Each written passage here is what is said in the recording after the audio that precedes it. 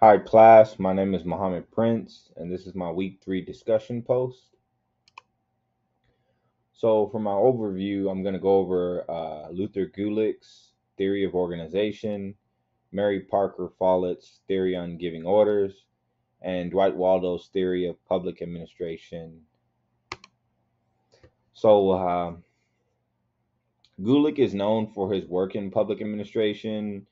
Um, he came up with the POS uh, DCORB.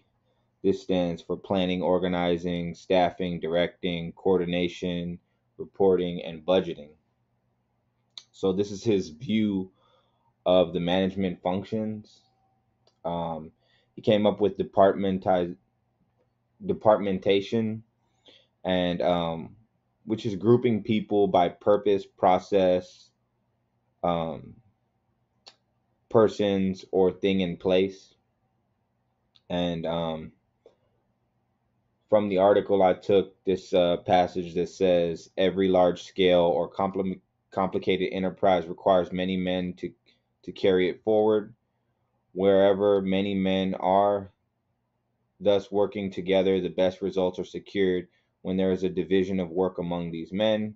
The theory of organization, therefore, has to do with the structure of coordination imposed upon the work division units of an enterprise. Hence, it is not possible to determine how an activity is to be organized without at the same time considering how the work in question is to be divided.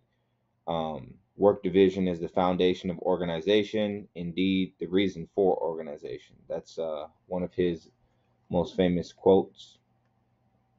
And um, he he uh, felt that coordination of work um, becomes mandatory, and that coordination can be achieved in two ways: by organization. Um, this is interrelating the subdivisions of work, and um, by dominance of an idea. That is through the development of intelligence um, and a singleness of purpose in the minds of men.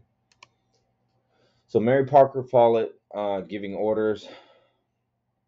So she felt that leadership is not defined by exercise of power, but by the capacity to increase the sense of power among those led.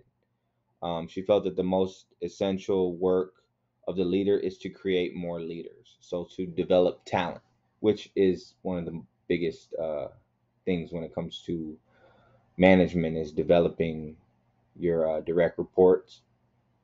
And um, she believed in creating resolution through integration. Um, power is not coercive, which is power over, but coactive, which is power with. And um, true leaders, according to Follett's theory, create group power rather than personal power. So Dwight Waldo. So um, He's most closely associated with the history and theory of public administration and the new public administration movement of the 60s.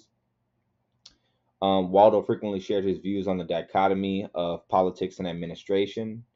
Um, and the politics administration dichotomy debate um, was uh, like a slippery subject, and um, different people had different views. Some felt that they're one and the same. Some felt that they needed to be completely separate, and um, and uh, some felt the opposite, which um, does not have a generally agreed upon label. Um, but uh, others accept partial versions but categorize them differently. So uh, Waldo was mainly the theory of public administration and the separation between politics and administration. I just want to say thank you for watching my video, and I look forward to interacting with you all in the comments.